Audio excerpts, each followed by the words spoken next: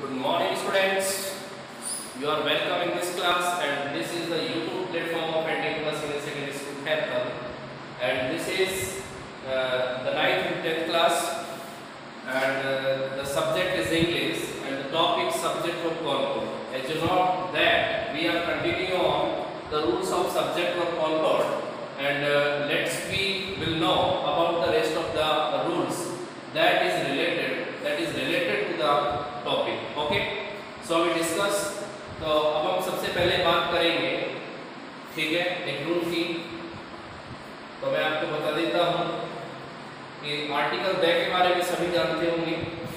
और आर्टिकल दे और साथ में एडजेक्टिव ओके आर्टिकल दे और एडजेक्टिव इस कंडीशन में जब आपको सब्जेक्ट मिले, क्योंकि एडजेक्टिव कभी भी अपने आप में विदाउट आर्टिकल यानी कि दे के अपने आप में सब्जेक्ट का रोल प्ले नहीं कर सकता।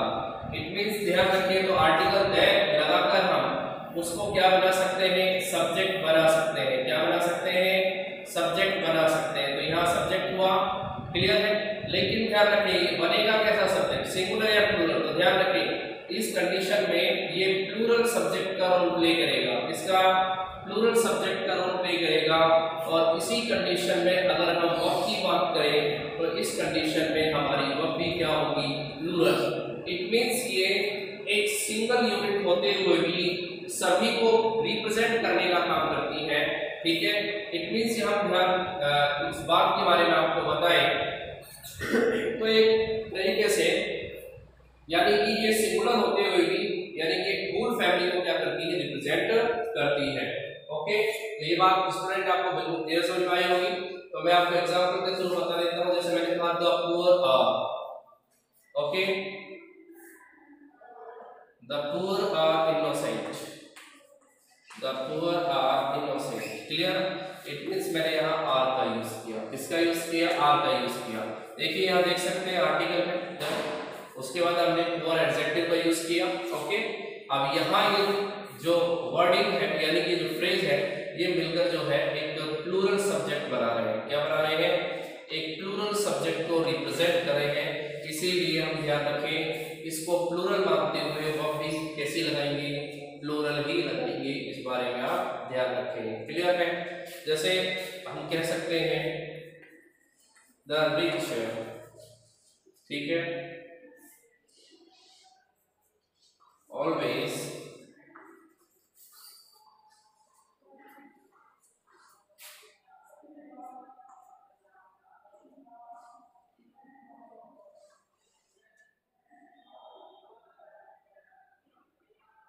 a standard या मेंटल स्टैंडर्ड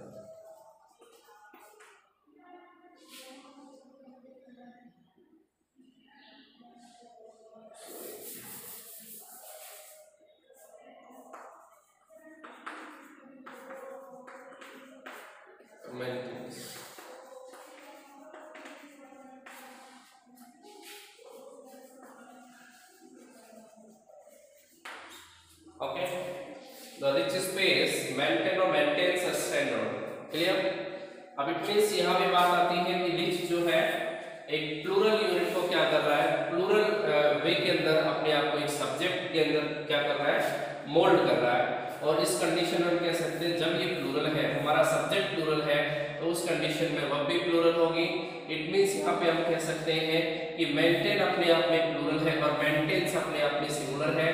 और हमारा जब सब्जेक्ट कैसा है प्लूरल है तो हमें वह भी कैसी चाहिए plural it means maintain okay तो इस तरीके से स्टूडेंट आपको ये वाला जो रूल है, बिल्कुल क्लियर समझ में आया होगा ओके तो सेकेंड रूल की तरफ़ हम बढ़ते हैं आगे।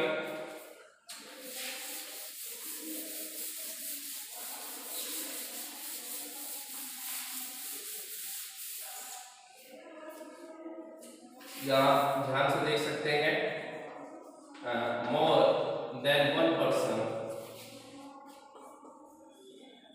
more than one person ठीक है? तो ध्यान रखिए मोर उसके बाद देन दिया है, उसके बाद वन पर्सन है। मोर देन वन पर्सन यानी कि सब्जेक्ट का रोल प्ले करें तो क्या होगा? और more person than than one अब क्या होगा? यानी कि मोर उसके बाद पर्सन सीधा नाउन दे दिया देन वन दिया है। इट मींस ध्यान रखें देन के बाद वाला आपको बिल्कुल नहीं देखना। यहाँ देखो देन के बाद वाला, ये बिल्कुल नहीं देखना। आपको देखना है ये।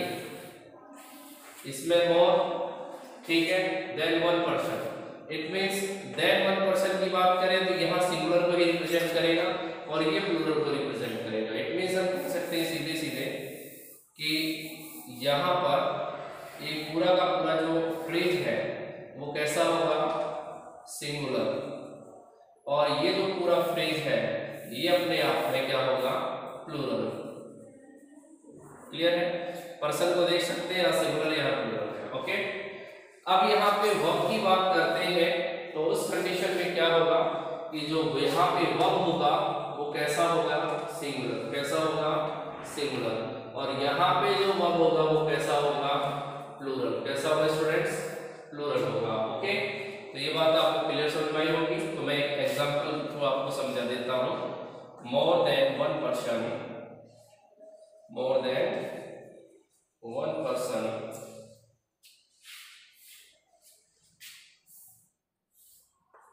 being invited. Invited to tea. Okay to tea has B have C has been और D जो है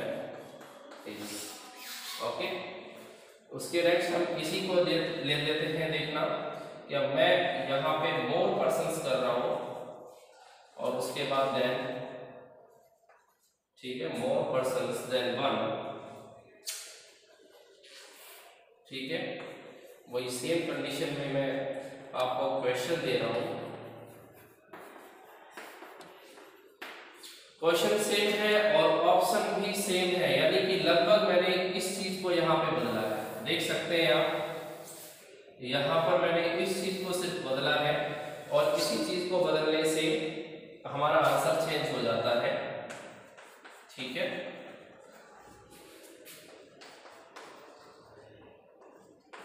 ऑप्शन में मैंने आपको सेम ही दे दिए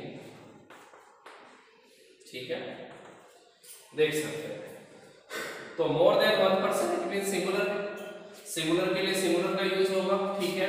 अब सिंगुलर में हैज़ काम करेगा सिंगुलर वे में हैज़ बीन भी आता है और सिंगुलर वे में इज़ भी आता है इट मींस हमारे पास हैज़ का ऑप्शन खत्म अब हमारे पास हैज़ हैज़ बीन और इज़ है लेकिन हम देख सकते हैं कि जब फिल इन द ब्लैंक के बाद क्या दिया हुआ है ब्लैंक के बाद बीन इट मींस बीन का यूज़ कभी भी इज़ के साथ नहीं होता इज़ के साथ कभी यूज़ नहीं होता और यहाँ थर्ड वाले ऑप्शन में बीन ऑलरेडी दिया हुआ है already it means double been का यूज़ नहीं कर सकते इट मींस हैज़ बीन का भी ऑप्शन यहाँ पे लैप्स हो जाता है अब हमारे पास जो ऑप्शन बचा वो कौन सा बचा? है has it means there will be an appropriate answer has okay यहाँ पे हम देख सकते हैं more persons than one it means it is plural और प्लूरल की कंडीशन में प्लूरल तो यहाँ पे सिंगुलर नहीं आएगा. यहाँ पे सिंगुलर नहीं आएगा. और आप देख सकते हैं यहाँ पर ऑलरेडी पहले से बीन दिया हुआ तो इट मींस बीन वाला ऑप्शन भी यहाँ नहीं होगा. इट मींस हैव आएगा, क्योंकि हैव के साथ तो बीन ऐड होता ही है. और यहाँ पे हमारा सब्जेक्ट भी प्लूरल है इट मींस यहाँ पे हमारा आंसर क्या हो जाएगा? हैव ओके तो ये आपको क्लियर समझ में आया होगा। ठीक है? तो आगे बढ़ते हैं।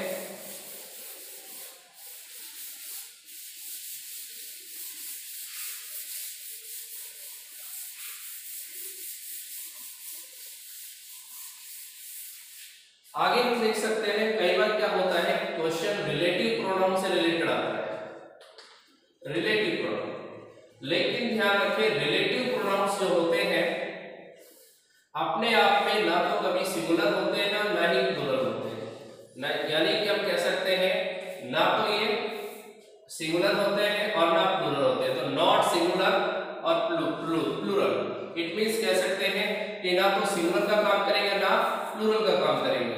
ठीक है? तो यहाँ सिंगुलर और प्लूरल दोनों का काम नहीं करेंगे।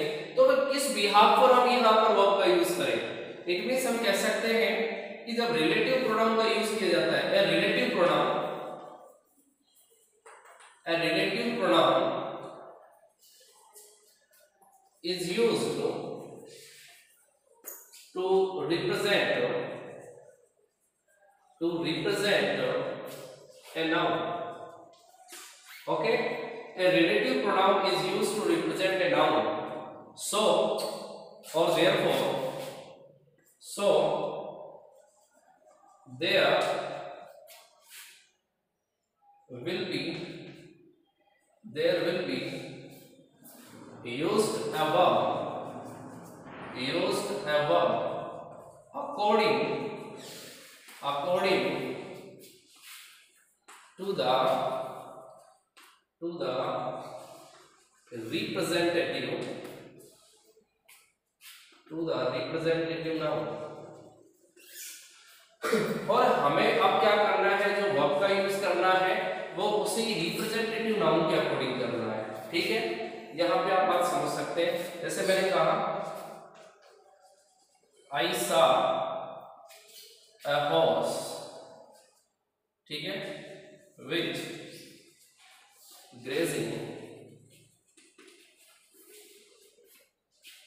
near a pond. इस तरह के क्वेश्चन आपके एग्ज़ाम में आ सकते हैं। ठीक है? तो यहाँ पे देख सकते हैं हम ऑप्शन में आपको दे रहा हूँ। ठीक है? वॉस ठीक है? उसके बाद एंड ओके देख सकते हैं। तो सबसे पहले तो हम ये देखते हैं कि हमारा जो सेंटेंस है वो पास्ट में है। ठीक है? इट मीन्स ऑप्शन भी हमारे पास के होंगे? इट मीन्स हमारा ऑप्शन ये तो वॉज़ हो सकता है एवर हो सकता है और आर नहीं होगा, क्योंकि दोनों प्रोजेक्ट के लिए काम आते हैं। अब हम देख सकते हैं कि यहाँ पर हमें सिंगुलर चाहिए प्लूरल तो यहाँ पे देख सकते हैं कि यहाँ हमें ब्लैंक दिया और ब्लैंक से पहले विच आया लेकिन विच एक रिलेटिव प्रोनाउन है और अपने आप में ना तो सिंगुलर होते हैं, ना प्लूरल होते हैं। रिलेटिव प्रोनाउन ना तो अपने आप में सिंगुलर ना प्लूरल है तो क्या करें? ये विच किसके लिए यूज़ हुआ है? ये विच इस हॉर्स के लिए आया है। यानी कि जो भी चल रहा था, कौन चल रहा था? हॉर्स चल रहा था। इट मींस यहाँ पे रिप्रेजेंट किसको कर रहा है? हॉर्स को। ये ए हॉर्स अपने आप में सिंगुलर है, यानी कि एक नाउन है, और ये नाउन सिंगुलर है, और सिंगुलर के अकॉर्डिंग यहाँ पर वर्ब भी क्या यूज़ होगी? वाज यूज़ होगी। क्लियर है? जैसे मैंने कहा, श्रुति श्रुति is a good girl. Shruti is a good girl. Okay.